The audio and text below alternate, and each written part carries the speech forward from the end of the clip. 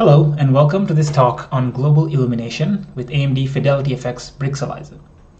My name is Dihara Vijayatunga and I'm a senior software engineer at AMD's Game Engineering Core Technology Group. We'll start things off with a brief recap of Brixelizer and talk about how it works. Then we will introduce Brixelizer GI. Next, we will go over the algorithm step by step then take a look at some ground truth comparisons and performance numbers. Then we'll see how the API looks and how it integrates into your application. And then we'll conclude with updates to the FidelityFX SDK. So let's get started. Brixelizer is a FidelityFX library that generates sparse distance fields for triangle geometry in real time for efficiently tracing rays against your scene. It works with both static and dynamic geometry and provides a shader API to trace rays against the distance field. This will be available in the upcoming release of the FidelityFX SDK. Now, let's briefly go over how Brixelizer works to get everyone up to speed. Brixelizer generates cascades of distance fields around a given position. In most cases, this is the camera position. Each cascade is a voxel grid with each axis being 64 voxels in length.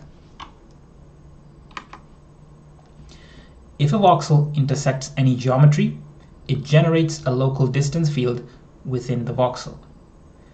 And these local distance fields are known as bricks. A brick is a 3D texture of size 8 by 8 by 8 in R8 UNorm format. And all cascades allocate their bricks from a global Brick Atlas 3D texture. A texel within a brick is known as a brixel. Once bricks have been created, we build a three-level AABB tree for each cascade. This AABB tree is used for ray scene traversal. We start at the tree level and find the leaf node that the ray intersects. At that point, we switch to ray marching the distance field until we find an intersection point. So that was a high-level view of Brixelizer. Now let's look at Brixelizer GI, which is a fast and approximate global illumination solution built on top of Brixelizer. It's entirely based in compute without any need for hardware accelerated ray tracing. The main motivation for this is to provide a fallback for ray traced GI so that lower end hardware can also have a form of dynamic global illumination. This will be available as a part of the next FidelityFX SDK release, and will be provided as a library that complements Brixelizer. And all the C++ and shader source will be available under the MIT license as always.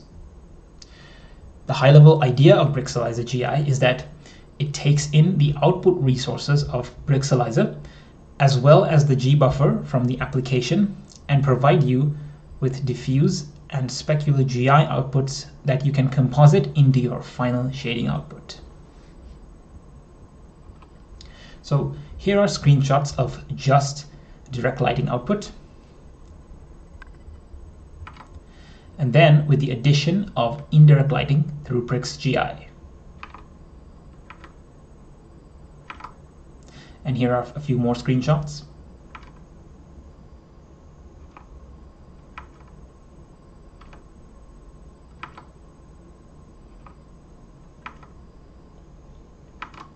And here's a mandatory screenshot of Sponza.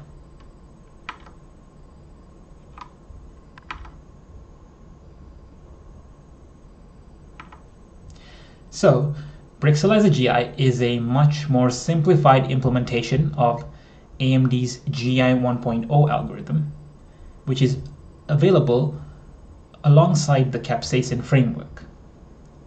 Similarly, we also use screen space probes and these are backed by a world space radiance and irradiance cache. Let's take a brief walkthrough of the algorithm.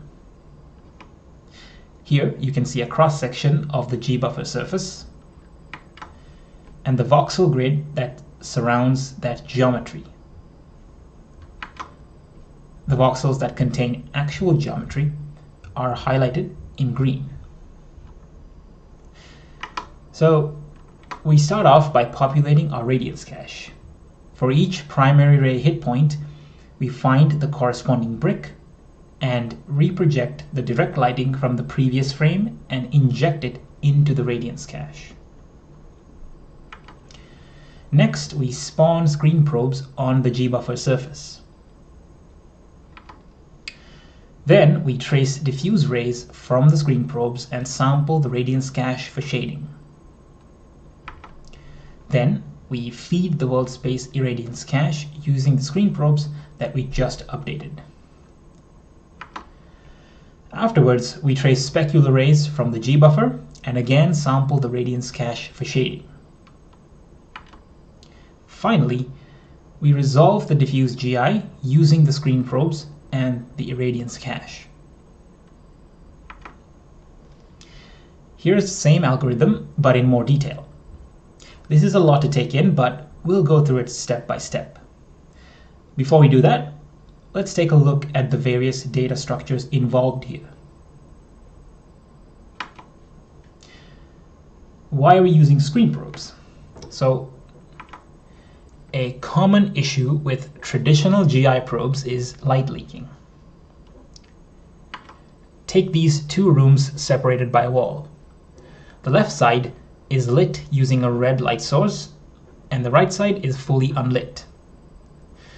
If we were to shade the position shown here in the right side, using the probes surrounding it, we can notice that some of the probes are in the lit side of the room. So when we interpolate the probes, some of the red light from the left side will leak out into the right side. You can mitigate this to an extent with smarter probe placement, but it's not fully solvable. However, the DDGI algorithm does solve this to an extent using essentially a depth map at each probe and evaluating it uh, during sampling. Screen probes, however, sidestep this issue entirely by placing probes only on the visible surfaces in the depth buffer. Take this scenario for example. If we were to shade this point using these screen probes, we can clearly ignore the top probe as it is too far away. We can use simple depth and normal comparisons to weigh probe contributions. It also has the benefit of being more dense than a world space probe grid, especially when you are close to the surface being viewed. The screen probes are represented using an 8x8 octahedral encoding, as seen here. But if we have screen probes, why have a world space irradiance cache? While the screen probes are responsive, they can also be noisy if there is a disocclusion, as the probes have to restart accumulation from scratch, which, leads to boiling artifacts. On the other hand, the world space cache is more coarse, but it is also more stable and persistent, which makes it an ideal fallback whenever the screen probes fail. These are stored as second order spherical harmonics, so nine coefficients per color channel. And they're stored in one large buffer that's common to every Brixelizer cascade. And finally, why are we using a radiance cache? Well, there's a few reasons, but mainly because we do not have access to the material data and UVs in the distance field so we can't really shade the hit points when we trace using Brixelizer. It also greatly simplifies the integration process. Modern game engines have lots of different types of light sources, materials, and shading models. Exposing all of these is difficult. With the Radiance cache, the shading is left to the application to handle, and then in Brixelizer, we cache those results and have them looked up whenever we need to. This is stored as a, 3D uh, texture atlas in R11, G11, B10 format with dimensions of 256 per axis. And a brick inside of the radiance cache is 4 by 4 by 4 pixels, and it represents the radiance throughout the volume of the brick. So it's half the size of a Brixelizer brick. Okay, now let's dive into the algorithm, starting with populating the radiance cache. In this pass, we're populating the radiance cache with radiance at each primary ray. This is done using the previous frame's direct lighting output. Instead of doing this for every pixel, we do this at quarter resolution. So we inject one value at each 4x4 tile. We pick a random point within the tile, then reproject the direct lighting from the last frame using the provided motion vectors. We then reconstruct the world space position and find the brick it corresponds to in each cascade. Then we compute the UVW coordinate within the brick. And finally, we accumulate the reprojected radiance into the radiance cache at the UVW coordinate. And here's a visualization of what it looks like when we sample the radiance cache directly. Next, we spawn some new screen probes. Screen probes are internally stored as 8x8 octahedral projection mapping. And a probe is spawned for each 8x8 tile of the frame. And a maximum of 8 attempts is made to spawn a probe. Each attempt is jittered using a Hammersley low discrepancy sequence. Using this jittered coordinate, we sample the depth buffer and accept it if it doesn't belong to a sky or background pixel. Then we initialize it as an empty probe and we spawn it at the reconstructed world space position and store the probe information in a buffer. This includes information such as the depth value, the world space normal, and the random seed. Using this information, we can reconstruct the, world, the probe position as well as the sample direction later on in the pipeline. After we create new screen probes, we're going to now attempt to reuse some of our hard work from last frame and reproject the older probes. Here, we're reprojecting the probes from the last frame so that we can reuse their radiance in the current frame's probes. We dispatch 8x8 threads per probe, and each thread handles a single pixel and attempts, and attempts to find a reprojection candidate. We store the reprojection weight in shared memory and pick the probe with the highest weight as the probe that gets reused. Here you can see the reprojected screen probes. You can see holes which correspond to probes that failed reprojection. And here is a closer look at it. We also share irradiance from the probes surrounding the reprojected probe. And we use normal and position similarity to weigh their contributions. Moving along the pipeline, it's now time to trace some rays from our screen probes and add some new radiance data. If a newly spawned probe fails to reuse a probe from the last frame, we inject new radiance into it. For each probe pixel, we uniformly sample the hemisphere and trace a ray using Brixelizer. If the ray hits, we use the brick ID and UVW coordinate to sample the radiance cache. And if the ray misses, we just sample the environment map. Okay, now in this next pass, we are dealing with the specular GI side of things. We start off by tracing rays at quarter resolution and store the brick IDs at the hit points. Since the granularity of the radiance cache is at the brick level, the low resolution trace doesn't really affect quality and greatly reduces the number of rays traced. Next, in a separate full resolution dispatch, we load in the brick IDs and find the intersection point within the brick. This is cheaper than doing a full trace as we can directly go into the ray march. Finally, we sample the radiance cache using the brick ID and the UVW coordinate. Next, we are going to be preparing our diffuse and specular GI outputs from the last frame to be accumulated by reprojecting them.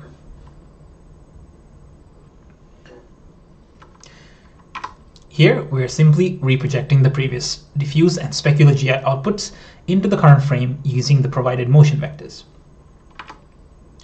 Internally, we build a disocclusion mask using the depth buffer and gbuffer normal from the current and previous frames. It stores a value greater than zero if there is a disocclusion, which helps us to reject history. And here's what the reprojected output looks like. We've exaggerated the movement between frames here, but you can see the rejected portions of the history in black. Now that the screen probes are filled, we're going to prepare them to be fed into the irradiance cache. Here, we are projecting the 64 incoming radiance values in our screen probes into spherical harmonics and we will use these to feed our irradiance cache as well as to reconstruct the final diffuse GI output later on.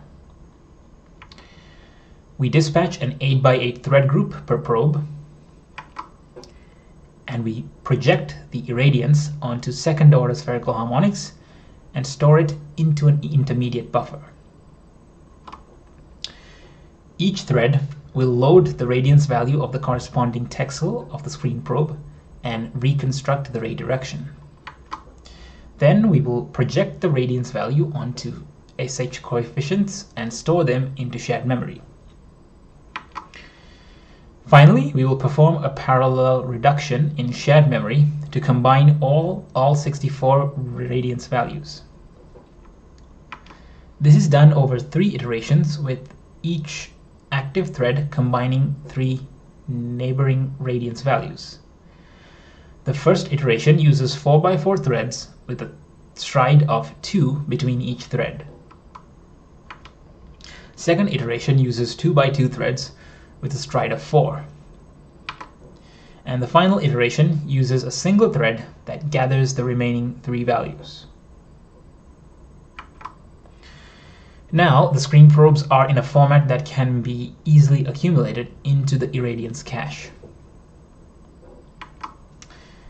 We use the previously created SH probes to feed the world space irradiance cache. Each thread loads in a single SH probe. Then for each brick Brixelizer cascade, find which brick the probe intersects. Then blend the screen probe with the SH probe in the world space irradiance cache. Now that the irradiance cache is updated with new radiance data, we're going to try to propagate some of this data. So in this pass, we propagate the irradiance in the spherical harmonics probes at each brick into the neighboring bricks. This is a time-sliced update, meaning that we update one cascade per frame, and the most detailed cascades are updated more frequently. Now we're bringing everything together in the interpolate screen probes pass. Here, we are reconstructing screen space irradiance by projecting the nearest 2x2 SH screen probes onto the G-buffer normal.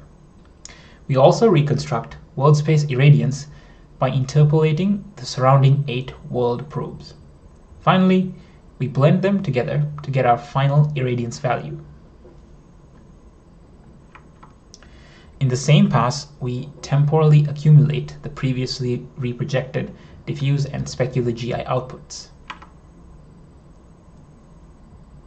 Now, we finish off with the spatial denoise pass. This is a relatively simple bilateral blur to further denoise the GI outputs. The radius is determined by the number of samples, so when there's less samples, we use a larger radius. One last detail of the algorithm is how the radiance and irradiance caches are cleared. The cascades in Brixelizer are implemented as clip maps, and bricks get invalidated as the camera moves around. To compensate for this, we clear the cache entries associated with invalidated bricks, and we rely on buffers internal to Brixelizer. So at the beginning of each Brixelizer GI update, we use an indirect dispatch to clear the relevant radiance and irradiance cache entries. And that concludes our look into the algorithm.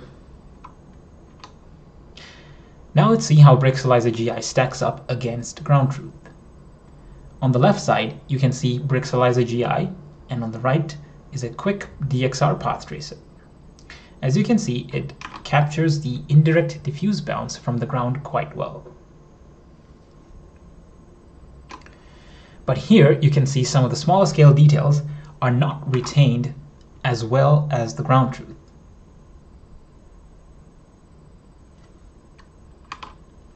And here's a few more comparisons.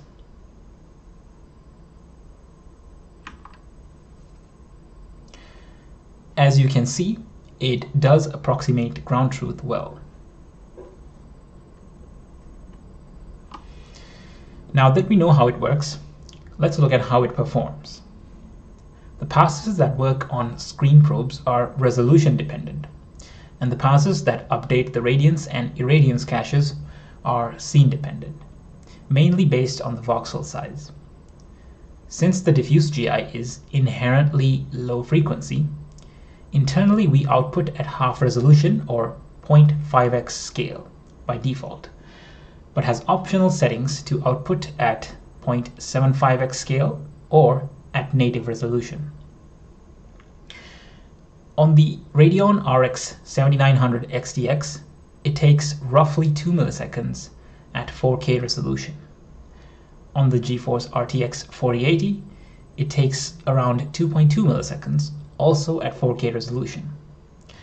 But the more interesting result is on the RX 7600 XT, which is a 1080p gaming card, and it takes around 1.7 milliseconds at 1080p resolution.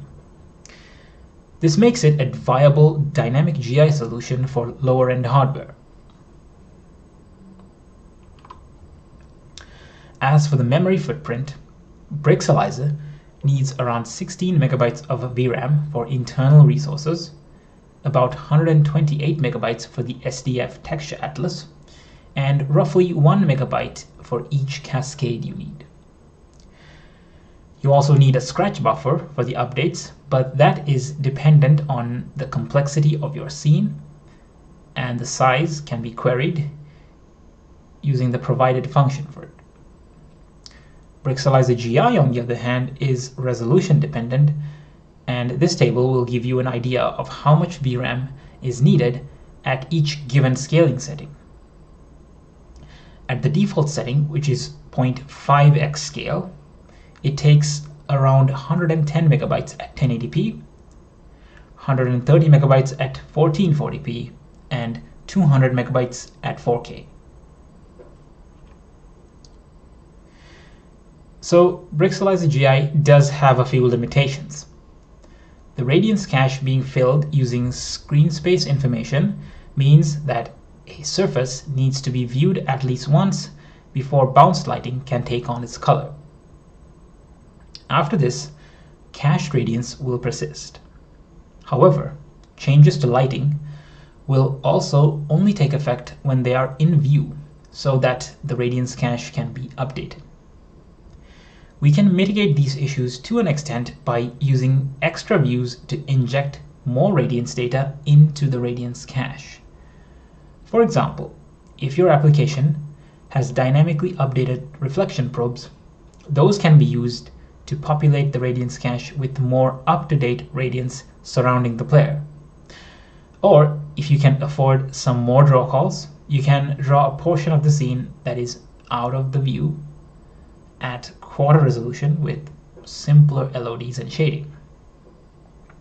Another issue is that you, you lose some of the small scale details due to the sparsity of the screen probes. However, you can recover most of these details using screen space ambient occlusion or screen space GI.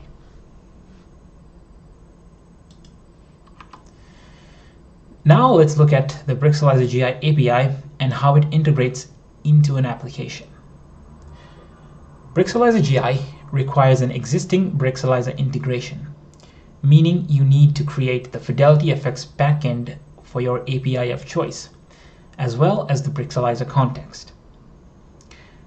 Link your application against the Brixelizer GI library and include the FFX brixelizergi.h header. Then create the Brixelizer GI context by passing the flags you need, such as inverted depth in this case.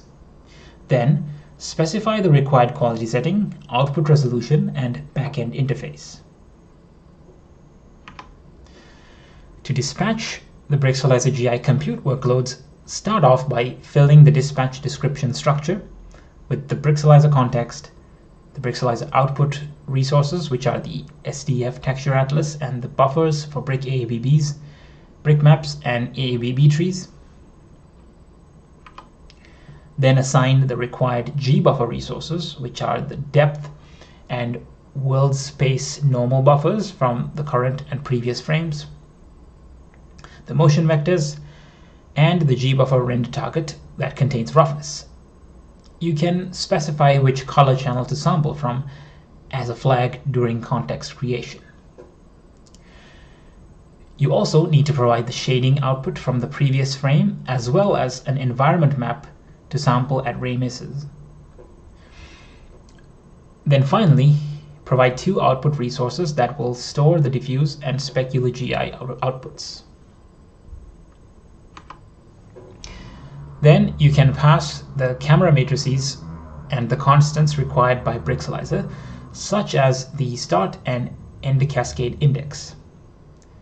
Then, finally, you can call FFX Brixelizer GI dispatch using the context, dispatch description, and your command list. After the update, you composite the diffuse and specular GI outputs into your direct lighting output the same way you would do with image-based lighting, usually by plugging it into Epic's split sum approximation. Now, using just the direct lighting from the previous frame gives you one bounce diffuse GI. However, if you want multi-bounce GI, you can create a feedback loop by using the composited output from the previous frame as input to Brixelizer GI. Here you can see what the radiance cache and the diffuse GI output looks like with a single bounce. And here is what they look like with multi-bounce. The difference is subtle in the diffuse GI output, but it can help in certain scenes that are indirectly lit.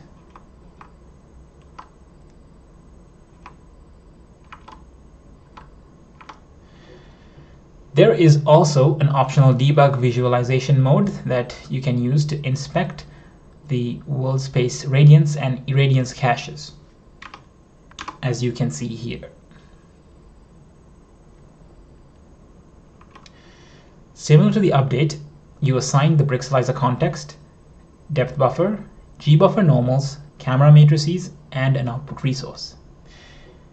You also choose what debug mode to use, either radiance cache or irradiance cache. And this dispatch will directly output the chosen information into the given output resource. Now, let's look at a live demo of Brixelizer GI in action. So here is the Brixelizer GI sample running the Sponza scene. And currently GI is turned on.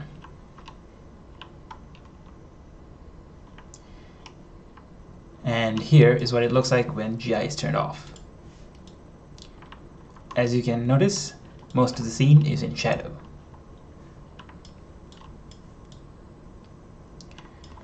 Turning GI back on again, you see that the shadowed areas become filled with indirect lighting. And here is diffuse GI by itself.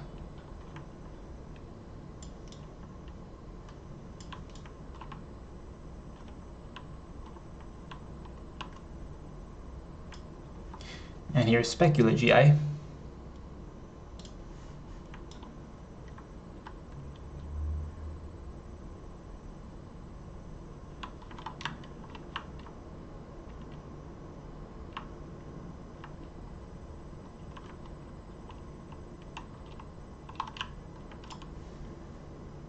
And here is the radiance cache.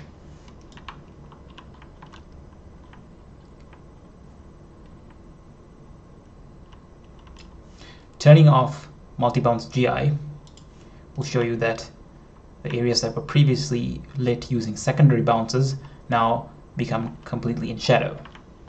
And as the camera turns around, the radiance cache gets updated with this new radiance data.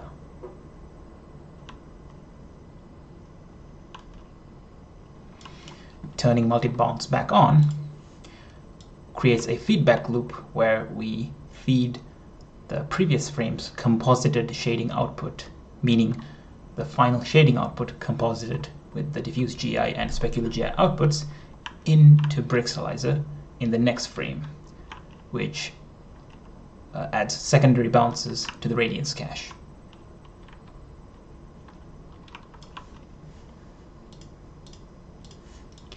when we change the direction of the light, you'll notice that the GI also uh, changes with it.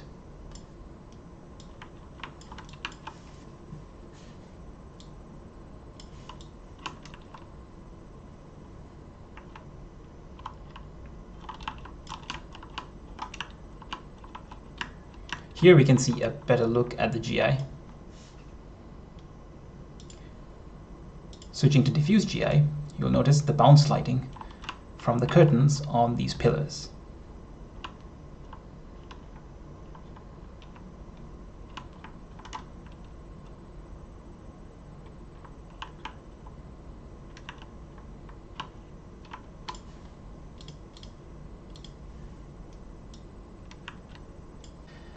And that concludes the Brixelizer GI portion of the talk. Now, let's go over the upcoming version 1.1 release of the FidelityFX SDK. Two of the biggest additions in this release are the Brixelizer and Brixelizer GI libraries.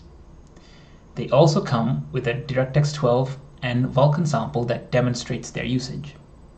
It also shows how to handle static and dynamic scene elements and also how to use the various debug views and debug counters to help integrate these into applications.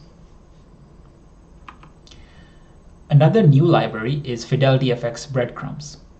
With modern explicit graphics APIs, it's easy to introduce GPU crashes due to incorrect usage of the API.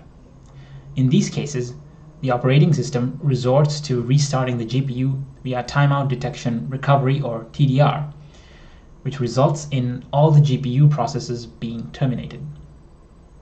Debugging these kinds of issues becomes quite difficult, especially in a complex renderer with hundreds of draw calls and dispatches. This new library aims to help developers debug these GPU crashes by using a technique called breadcrumbs that are essentially writes to a special buffer that happen before or after the GPU workload in question is executed. When the device is lost, we can dump these breadcrumbs and see which commands were completed and which commands were in flight at the time of the crash. This will help reduce the time it takes to diagnose these issues. This release also includes a DirectX 12 and Vulkan sample that demonstrates the use of breadcrumbs.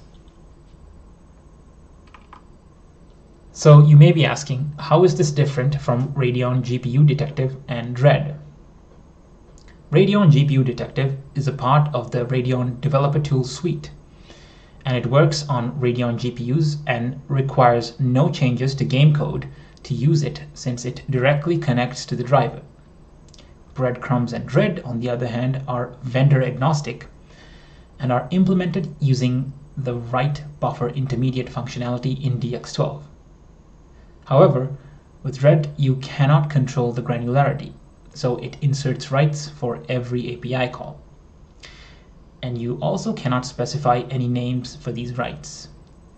But with the breadcrumbs library, you can choose the level of granularity that suits your needs, such as per pass or per draw by using the FFX breadcrumbs begin marker and FFX breadcrumbs end marker APIs. This can easily be integrated by plugging it into your existing profiler markers and enabling them when needed. In addition to these, there are also improvements to the FSR and hybrid reflection samples, as well as various other fixes and improvements across all the samples in the Cauldron framework. There is also a new GDK backend in the SDK, which supports both desktop and Xbox Series consoles. Xbox developers will be pleased to know a version which supports Xbox Series will be available to them. Finally, FidelityFX SDK 1.1 is scheduled to be released after GDC sometime in the near future. So, in conclusion, Brixelizer GI is a library meant as a fallback for ray tracing global illumination on lower end platforms. And it takes in the G buffer and direct lighting as input and outputs diffuse and specular GI. It requires no hardware accelerated ray tracing support and works on both DirectX 12 and Vulkan. It's also fully open source via the MIT license. And it will be available with the FidelityFX SDK version 1.1. Finally, it can serve as the basis for a more advanced GI solution if needed. A special thanks to these people from AMD for their contributions towards Brixelizer GI and the FidelityFX SDK.